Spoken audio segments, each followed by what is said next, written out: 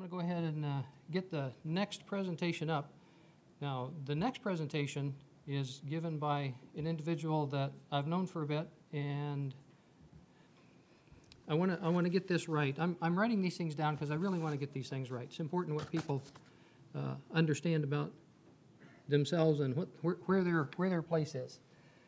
Our first presentation is titled Best Practices in Insider Threat Management, presented by Randy Trzeciak.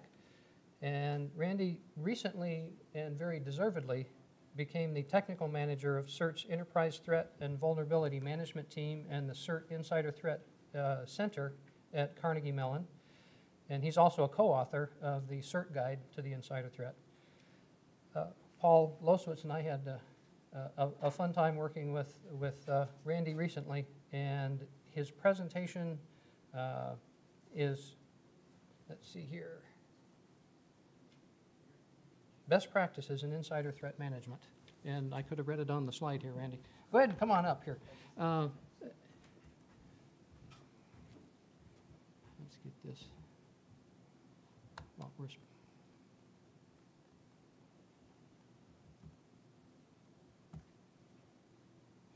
is, there it is. All right. Top button's a red pointer if you'd like it. Okay. Thank great. you, Randy. Thank you very much. It's a privilege to be here and share some of the work that we've been doing over a number of years. Again, my name is Randy Trzeciak. Uh, I do work at Carnegie Mellon University as part of the CERT program, and I certainly appreciate the introduction as the new director of the Insider Threat Center. I know a number of you have worked with uh, Ms. Dawn Cappelli over the years, uh, who was the previous director of the Insider Threat Center. I've worked with her for a number of years, going back to about 13 years, specifically the last seven or so, looking at the insider threat and the problems and the threats they pose to organizations' critical assets. So it certainly is a privilege to be here, and I certainly appreciate the opportunity to share what we're doing. Uh, as we started the day by saying, let's make this a discussion. I don't want to talk at you, let's talk with you and really raise awareness of the insider threat issues that are out there. Again, the understanding of insider threats, I do feel that we have a pretty decent understanding of what the insider threat looks like. We've produced a number of reports that describe what the insider threats and they are to critical assets. and what we want to, really want to try to do is move from the identification of the threats to the mitigation of the insider threats. So from a standpoint of this particular presentation, I do want to get into a very quick overview of what the insider threat looks like and then get into some of the strategies for mitigation. So in terms of CERT program, uh, for those of you who may not be familiar with the CERT program, it is part of Carnegie Mellon University Software Engineering Institute. The SEI has been around for about 25 years, really designed to develop to help the federal government research tough problems in the area of software security. For the past 20 plus years, the CERT program was stood up to really complement the software research side to provide the cybersecurity research and provide insights into both the holistic picture of what the software security issues are as well as the cybersecurity issues. So we are a federally funded research and development center. Our goal is to do research, transition that out into the community, and our charter as an FFRDC says that we can't compete with industry, we can't compete with government. So I'm not here to sell you anything in terms of a tool or a technology, but what our charter is is to do research into the tough cybersecurity issues and provide guidance in terms of what those threats look like and then hopefully assist with some of the mitigation strategies. So I'm actually located in Pittsburgh, Pennsylvania, and we actually do have an office in Arlington, Virginia. So specifically the Insider Threat Center, and we've been doing research into the insider threat since about 2001, really looking at the threat posed by insiders to critical assets. And what we want to try to do is to do empirical research, look at actual data, to try to identify if there are patterns that organizations could observe both technical and non-technical patterns. And what we want to try to do is transition that out to organizations to give them something to look for, something to look at. And what we want to try to do is to develop things that we call observables, which we want to transition into indicators that organizations could observe on their networks. And we really try to differentiate between observables and indicators. Because I can't tell you right now with, with, with any degree of confidence that if this happens, this person will go on to disrupt a critical system, to steal some type of data, or to defraud your organization.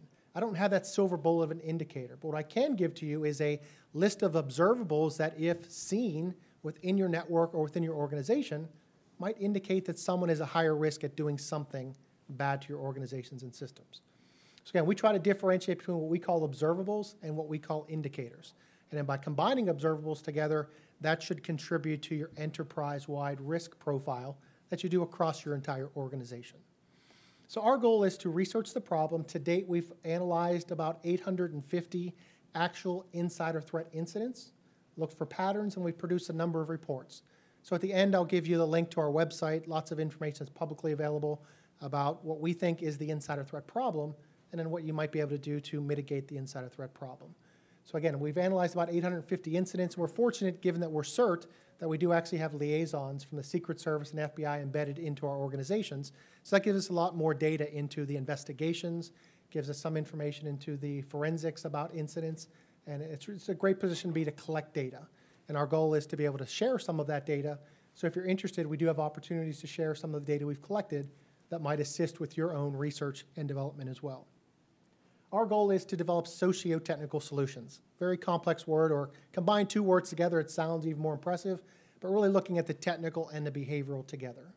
And our opinion is that that technology is a good start. But when you start looking at insiders who have authorized access to your systems, and you're looking at their normal behavior of accessing data on those systems and technologies, it's hard for technologies to determine malicious intent. So if I work in a bank and I process 100 new customers a day, what if the 88th customer that I process was for a friend or a relative and I do something to their credit history and it's with malicious intent? Can you develop a tool that can do that? Possibly, but right out of the box, many tools aren't designed to identify what was presented before, those anomalies or those differences in a business process or a business transaction. So what we want to present to you is this idea of a program that is enterprise-wide most organizations, or at least if you started identifying insider threats, that problem was delegated to the IT department. Develop some type of tool and technology that will identify bad behavior. Well, that is a good start. There are certain things that is pretty clear that we don't want to happen. Data exfiltration off of a cleared or a secured system probably shouldn't happen. That's a technology that could be prevented. But what if we move out to businesses and start identifying things that's part of a normal day-to-day -day activity? What if a business development professional in your organization needs to have data off of your network to interact with customers in the field? How does that tool or technology prevent that from happening? If it does, it's probably preventing your business operation. So here's what we want to challenge organizations that we believe there's a wealth of information across the organization to include information technology, information security, but also think about the non-traditional IT data sources. Those data sources could be your HR department. Again, if I can give you a motive of why people might consider stealing money from you or exfiltrating data off your networks and systems, you might be able to look in your HR department to identify people who may be more at risk. Also think about your non-traditional IT data sources being your physical security departments. You know, everywhere you go, you have to badge in and out. Lots of systems, you can't get in and out of doors without badging in and out.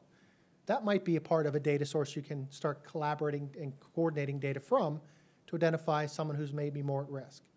So combinations of these observables, someone who's going to leave the organization, who's coming in after their normal working hours, exfiltrating data off of their network, and is visiting websites for job opportunities for observables across your department that might indicate someone may be leaving and may consider taking data with them to give them a business advantage going on to the next organization. You know, any of those one observables across the department may not raise a flag, but consider combining those together to identify the profile of people and their activity and their impact to potentially your critical assets. So that's a challenge that we want to make to organizations. The challenge then comes with a number of hurdles. Many organizations have silos across their organization. IT has this data, HR has this data, physical security this data, legal and contracting this data. How do we share that across the organization? Here's where I think that your building of an insider threat program might help. Again, we have some recommendations on how you can build a program, how you can communicate, how you can get buy-in across the organization. Again, none of this is foolproof because, again, we don't have one indicator that says if this, then the insider will do something bad to your organization. But we can give you some guidance on how you can stand up a program. And what this chart looks for is there are certain observables across the timeline that you might want to consider pulling together and starting looking across those non-traditional IT managed data sources. Again, the behavioral aspects is what we believe can contribute to identifying someone who may be more at risk. Again, we don't have a key indicator that says will be, but things that might indicate someone may be more at risk. So what our approach to the problem is, we develop these research models. When we present research models in the operational community, people just glaze over. But what this really represents is about 800 to 900 cases that we've built patterns around. We use a formalin modeling technique called systems dynamics modeling. If you're interested, we can bore you to death with the semantics of that. What people really want to see is how we transition that from a research model into something they can take away, something they can apply on their systems. So if we take that research model, what we want to look at is can we develop and derive candidate controls and possibly get to indicators. How does this map out to what you can take away from here? One of the controls that we've re represented, one of the controls what we recommend is if you're concerned about theft of intellectual property, we can give you a possible control that you want to deploy in your systems because we know based upon past incident who's more likely to steal your IP. When are they more likely to do it? How are the exfiltration methods? And this is what we can develop using a public source tool, an open source tool, a Splunk query that can identify someone who's leaving the organization, accessing a piece of critical information, sending it off your network through email, and it has some type of attachment. This is where we move from just logging information to alerting when something's happening. Again, the goal is logging is usually after the fact reactive. How do you identify when something's happening in real time? This is a control you can deploy, publicly available on our website. Again, Splunk is an open source tool. You can deploy it in your own technology, but we want to give you some insights into how you can configure your tools a little better to reduce that search space a little bit. Again, most organizations log everything, and that's a great thing. Forensics after the facts, let's go ahead and do that. But how do we move from logging to be a little more proactive and alerting when something's happening? I know that all your organizations are limited in time, resource, money. So again, how do you provide a little better insight into your SOC operators, the NOC Operations Center, looking at data going across networks? I think we can give you a little bit of insight into what insiders look like and the bad behavior they've done in the past. So in terms of the insider threat, lots of news reports, media comes out is the insider threat. Again, we've get a number of media requests to ask us to describe the insider threat. Give us a solution to the insider threat. What we need to be very clear is that there's not one type of insider threat. We want to be very clear that you need to start from the risk profile, identifying what you're trying to protect. One of the things that we recommend in CERT is a resilience management model, which identifies four types of assets. Again, this is what people try to protect. They try to protect their people, their information, their technologies, and facilities. That's what you want to protect. Organizations should use this to identify what is the higher priority protections. And then based upon that, then you start looking at people who have authorized access to these things, and that helps you prioritize what you're trying to protect. Again, we haven't seen one insider threat. Depending upon who you ask, a threat could be recent cases of Snowden, Manning, could go back in history of Hanssen Ames. That's one community insider threat. But we start looking at other communities, a banking and finance threat could be someone who steals millions or billions of dollars, that insider. We look at the online retail sales of someone who disables a system, shuts down a website, stops an online retail system. That's a different type of threat. Someone who steals intellectual property, one large organization has a competitor that takes their IP. That's a different type of threat. So in our opinion, there's different threats and should be based upon what you're trying to protect and then who has authorized access to that. So what we want to try to do is to ask organizations to consider this. Separating the target, what are you trying to protect? And what could a person do? A person, again, could be someone in your organization, but it also could be someone outside your organization. So there are threats which are the insider threats, but also external threats. Your risk profile should look at internal and external. What could they do to what you're trying to protect? And then if we specifically look at your, your insiders, consider a broad perspective. Who do you grant authorized access to those assets? Certainly your employees, consider those as threats. Contractors, subcontractors, suppliers, trusted business partners. And here's where you can start looking at who do we need to watch a little closer based upon who has authorized access to what you're trying to protect. And there we get away from everybody as a threat to everything. Everybody should be watched to the same degree, same sensitivity. In our opinion, you don't have the time, resource, or money to do it, so use this to protect your critical assets and who has authorized access to those critical assets. Insiders are just one threat to your assets, but not everyone is the same threat or equal threats across your organization. So again, that's what we want to try to debunk the myth that everyone's a threat. Let's put these controls and technologies in place that have this big brother type attitude of everyone's being watched, everyone's being reported, everyone should be suspicious. Think about it from a, from a protection strategy, what you're trying to protect and from whom. An insider is only one threat to those critical assets. So consider the malicious insider. We define what the malicious insider is someone who has intent to do bad. Again, we describe this, we have our definitions when it is working definition, someone who intends to do bad. But also consider the unintentional or the accidental. Again, a number of employees don't intend to harm something, but actually impact your organization's assets. Protection strategy should focus on the asset, and hopefully you can protect from both. Someone who takes their laptop home, loses their laptop, the laptop's stolen, there's probably not malicious intent, but from an organization standpoint, you probably don't care initially. You want to recover from it or protect from the unintentional disclosure. And then if there is malicious intent, we'll involve law enforcement, we'll take the necessary action. So from an information assurance protection standpoint, what are you trying to protect and from whom? And at least initially, you need to consider there could be accidental or non-intentional, but also the, the uh, malicious as well. If you're interested, we recently released a report on the unintentional insider threat on our website. It goes into some of the patterns, some of the behaviors, some of the contributing factors to why insiders have harmed assets without malicious intent.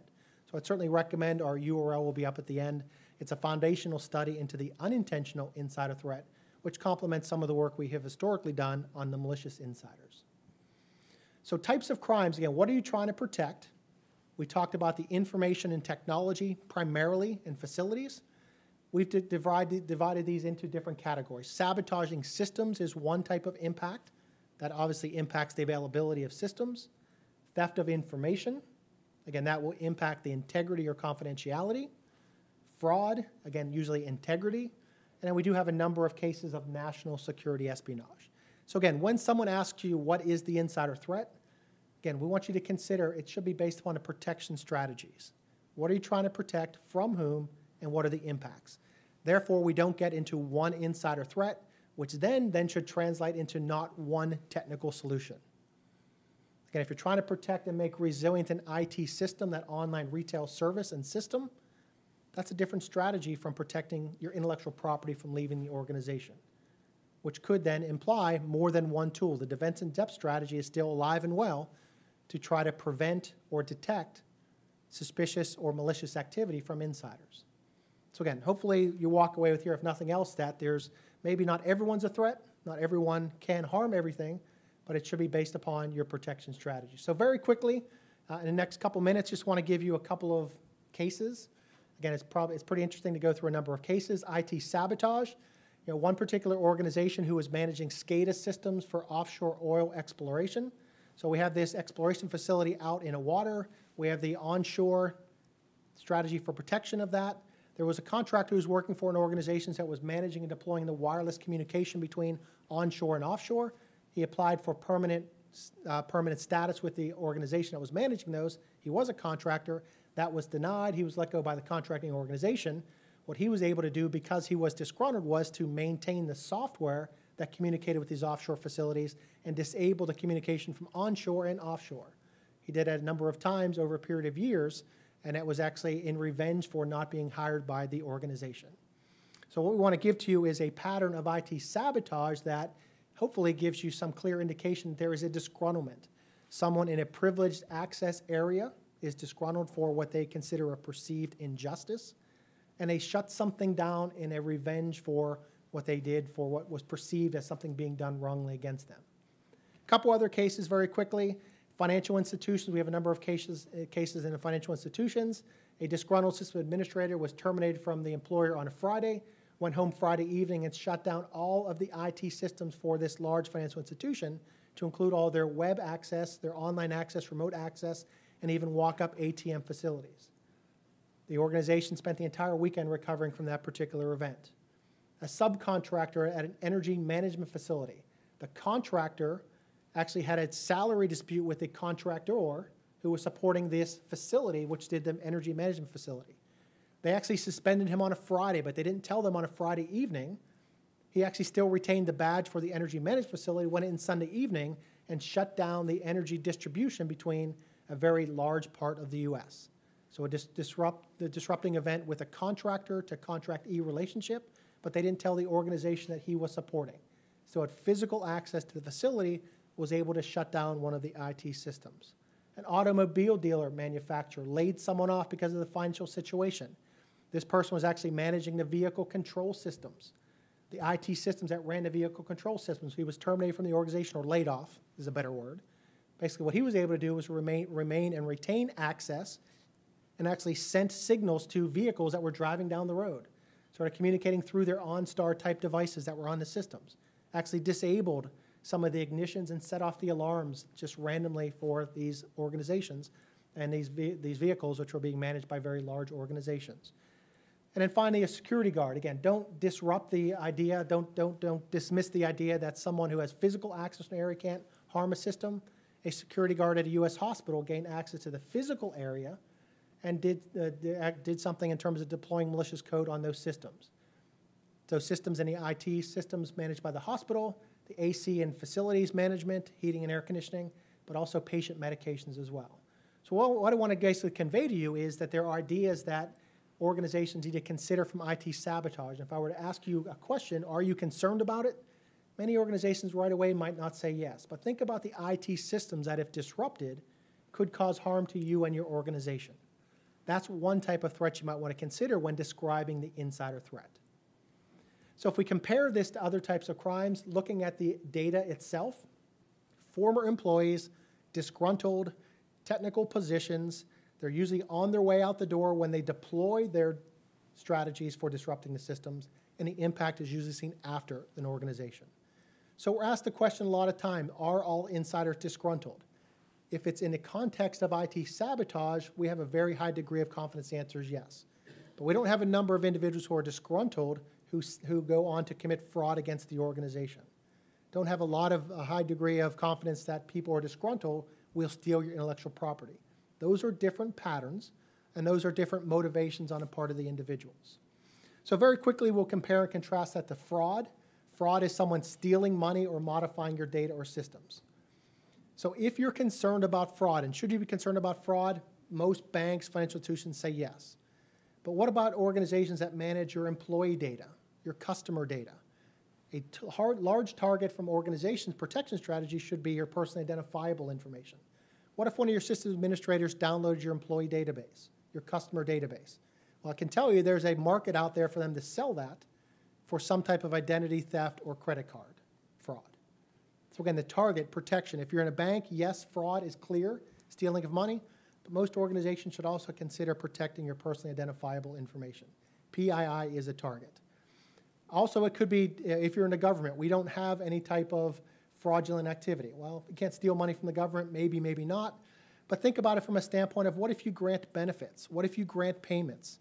What if someone on the outside paid one of your employees to add data to a system or modify data? One particular example we have up here, a Department of Motor Vehicles in the US, actually it was a ring of seven employees, sold more than 200 fake identity documents for over $1 million. Again, that's fraud. The motive is financial gain. Protecting data in systems should be your strategy as well. Protecting data from the external folks, but also from your internal folks as well. So, fraudulent activity. Motivation from this is obviously financial gain. Other types of industries that should be concerned we had accounts payable clerks. So, do you do payments? Do you pay vendors, other types of suppliers? We had one particular individual over a period of three years issued 127 unauthorized checks. So, is that something you're trying to detect as suspicious or malicious activity? If not, you might want to consider that. Think about a front desk office coordinator. PII is a target or could be a target. Over 1,100 victims of identity theft, over $2.8 million in fraudulent claims. Other cases, a DBA at a very large U.S. insurance company downloaded 60,000 employee records, sold it to someone outside the organization, again, with the express purpose of identity theft or credit card theft. And then finally, an office manager at a trucking firm added her husband every two weeks to the payroll, paid her husband, check was generated, then removed her husband from the payroll. Over a period of almost a year, losses of over 100K. So again, if you're not in a bank or financial institution, do you need to be concerned about fraud? We believe yes. Because again, the target could be the data, unauthorized modification, addition, or deletion of data. Again, that looks different from someone who sabotages systems. People who commit fraud, motivation is money, financial gain. That's different from someone who commits sabotage, disgruntlement. Clearly, we've seen in cases a number of disgruntled employees sabotaging systems. And think about people who have access to your business processes, have access to your PII. Those are the folks you might want to look a little closer at preventing or detecting fraudulent activity. And then finally, theft of IP, same type of question. Do you have intellectual property? Many of you might not categorize it as IP, but there's still confidential or sensitive information that you want to protect. Even in, within the government, there's lots of data that you don't want to leave your networks or system. Maybe it's not classified at secret or top secret or above, but there might be a wealth of information you want to protect as well from leaving your network. So theft of intellectual property, again, many organizations spend millions or billions of dollars developing IP. Certainly there's clear financial benefit for that not leaving their organization. One particular organization, a research scientist, got a job with a competitor, downloaded 38,000 documents. Sounds like a lot, 38,000. From an organization perspective, they logged every one of those transactions. He left the organization, went to a competitor. It wasn't detected until he started going to work for the competitor. They saw it being uploaded onto their systems. They then contacted the victim organization. When they went back through the logs, they found that this individual was downloading at a rate at 15 times higher than the next highest user at that point in time. So, are there technologies that could detect that? Yes. If you're setting thresholds, the answer could be yes. But many organizations, again, are in the reactive logging and can use that after the fact and maybe not alerting when something like that's happening in real time. So, just another challenge of what would be considered suspicious in terms of data leaving your network. There's some documents that should never leave, but there's some documents that can leave, but it might be at different times, might be considered suspicious. Other case of theft of IP is 65 gigabytes. Is that a threshold, would you consider? 1,300 confidential proprietary documents. Again, 500 million in development costs. And in one particular case, which was of interest in terms of national security, was a contractor who is managing the simulation software for a major U.S. nuclear power plant resigned from one organization, went to work for a competitor in a foreign country. They started seeing connection requests from the foreign country back to the US at this one particular nuclear power plant. Again, the intellectual property may not be classified as IP, but it was the software. He retained access to the software after he left and had remote access to get back in after the fact. So if we look at theft of intellectual property, that again looks different from the other types of incidents. Intellectual property, we have a window of opportunity. Usually people take it when they're leaving. That might, might not be surprising, but can you configure your system to identify someone who is leaving someone who resigns or is terminated or will be terminated, and then start looking about what they're doing on your networks and systems. Again, that first control we talked about in one of the first couple slides might give you some help at trying to identify when information is more likely to leave. So again, we went to the very beginning of the title, Best Practices for Mitigation of Insider Threats. So I went through that whole 20 minutes of, of my 30 minutes to describe what the threat is as a way to then start tracking what some of the strategies should be for mitigation. Certainly continue to log what you're doing. Certainly that's good, but try to move from continuous logging to more targeted monitoring of that abnormal activity that was talked about in the previous presentation. And can you differentiate between normal and abnormal activity? That would be the challenge. And then try to move from that to be real-time alerting. And here's where I think we can help you with what could be considered suspicious activity based upon what we've looked at and analyzed in terms of the types of incidents. The goal, prevent, hopefully prevent, if not detect as early as possible to minimize the impact. So what I think we can do, and again, I could have went through what we have as a best practice guide. I could have went through our 19 best practices in detail, but without the context of what you're trying to present, pr protect, I think just showing you this list of 19 might have just glazed over. These are specific recommendations that we make to prevent or detect any or all of those types of incidents to you and your organization to also include the unintentional insider threats. So on our website, you can go and download. It's a publicly available document. We're actually in the fourth version of our common sense guide to the mitigation of insider threat. This is about an 80-page document that will go through 19 best practices, and really it starts with identifying your critical assets. What are you trying to protect? And then what are you trying to protect from whom? And then here's where then you want to start applying some or all of these best practices. So again, I didn't want to go through all of these. We would have spent most of the time just reading the screen.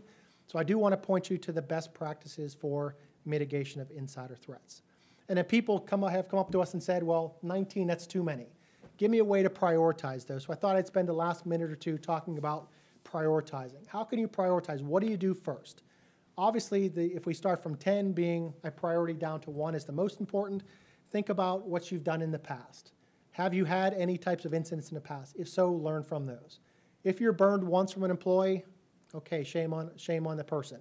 If you're burned twice, shame on me as an organization. So certainly learn from the past. Focus on number nine, protecting your crown jewels. Here's where we, we challenge organizations. When we ask them, when we do assessments of their organization, what are you trying to protect? What's important? Who has authorized access to it? This is where organizations struggle at the very foundation of what they're trying to protect. Certainly think about your current technologies. I would certainly recommend going to our website. We can help you configure your technologies a little bit differently to prevent or detect any or all of those types of incidents we described in the previous 15 minutes. Think about your trusted business partners. Here's a potential weak link from, a, from an organization standpoint. Think about everyone all the way back to your supply chain. Who are you giving authorized access to what you're trying to protect? Again, we have some strategies for that. Think about the concerning behaviors. Think about combining data across your organization. IT, certainly, physical security, human resources, legal contracting, and think about your business processes as well. There could be data you could pull across the systems to raise a risk level or perception of individuals' threats to your assets. Think about the employees and their potential recruitment. Think about that security awareness training you sit through every year, or it seems like every couple months that it comes through. Think about it from a standpoint of communicating with your employees what you're trying to protect, and if they are targeted, what their strategy should be. Think about resignation or termination as a key point. That might be a way to reduce your search space a little bit. Think about the also employees impacted by mergers, acquisitions, downsizing, sequestration. You pick the word. People will be impacted by certain events the organization does. You might want to consider watching those folks a little closer. Certainly address employee privacy issues with general counsel, the privacy and legal issues. Make sure you start with them before implementing the programs, work across your organization, and then certainly create an insider threat program as soon as possible. So with that, I'd like to just leave this CERT resource list up here. Our, our website is cert.org, insider underscore threat. The best practices for mitigation are available. Information about workshops or assessments, the control work. We have a number of publicly available controls, certainly the exercises and other training opportunities. And also, if you're interested, again, was, as was mentioned, I am a co-author. What we try to do is pool all of our research from the previous 10 years into one concise source, being the CERT Insider Threat Guide to the mitigation of theft, sabotage, and fraud. So with that, uh, I might have gone through my entire 30 minutes to not allow for questions.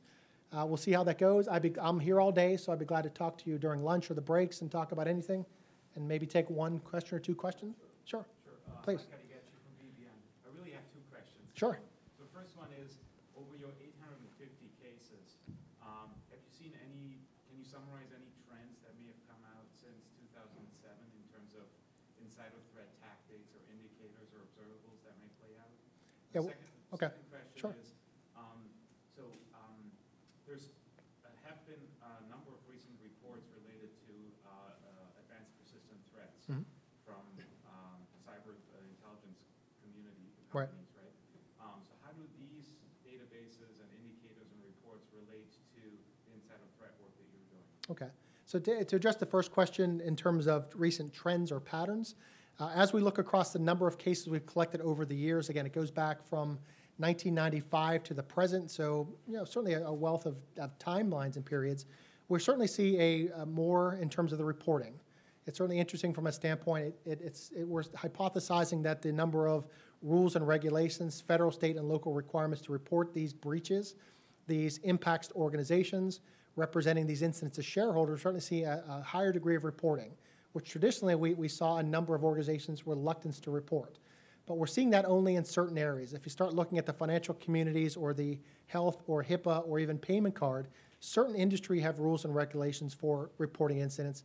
but many organizations don't fall in those sectors. So we certainly do believe that it's getting better in terms of reporting or prosecution, but also we're seeing that there's certain industry that because they're not required to report or disclose an incident or a breach or an impact, they're not being required. So some industry we're seeing better trends at reporting, others we're still not. And then to go to your second question, the second question specifically, remind me again?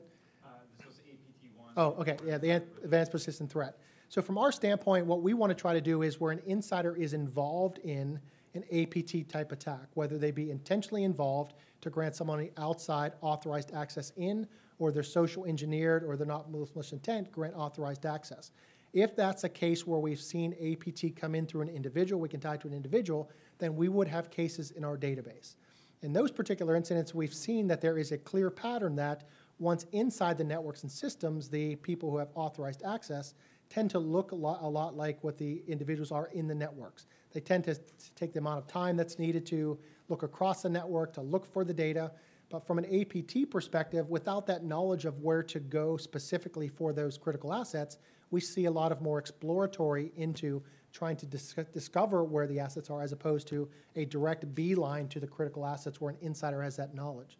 So there might be a lot more experimental or probing, uh, in our opinion or hypothesis, and not necessarily a direct beeline to where that asset is, because that knowledge gives them insight, and they don't have to explore and go beyond what their need to know or their control is.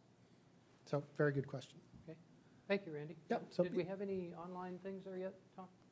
No. Okay, I would certainly be glad to take questions offline, maybe to Yeah, keep you on a schedule. yeah, yeah, just, uh, we're, we're, we're about five minutes behind at this point. Okay. Jack, did you have a quick one?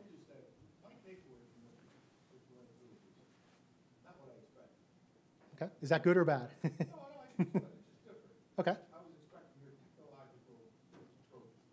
Oh, and I can, I can we can certainly give you lots of technologies that could help. Okay. Are you saying that, yeah, I got some technology to handle this, and there's ways I can do things, I can use the whole space, Mhm.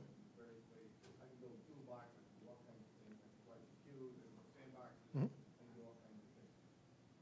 But what I drew out of this was you telling me that without a good business plan and an approach, the rest of those things are like interesting, but I've got no real way of why I should defend against these, or how to defend against these types of things. I would, I would say that the business process and planning is not more important, but it should be considered as well. Many organizations that we've talked to are deploying tools, and the tools are doing something, but it's not identifying the anomalous activity. And without the ability to differentiate regular or normal from anomalous, that's where the tools are just collecting data and not necessarily alerting on uh, what is potentially suspicious activity. So is this list of things that you're talking about embedded anywhere in academia or business planning structures or how to develop a business, small business administration? Is- Has that been embedded in there anything? I, honestly, I don't know the answer to that question. I mean, we've been doing this research and publishing these reports for going on 13 years. We Work with a number of organizations in the government, both large federal, state, and local government. We work with academia, and we've made recommendations in terms of tools and technologies that could be deployed, combining with the business planning, business process, uh, to identify what could be ways to prevent or detect suspicious activity. So to answer your question, I don't know if anyone's truly adopted all 19 as a strategy. There are certainly ones that could be impli- applied or applied at different organizations. Our goal is to raise awareness to the problem and hopefully give some insights into the strategy for prevention and detection. Thanks, Thank you, Randy. sure. Appreciate it very much. Thank you, Time.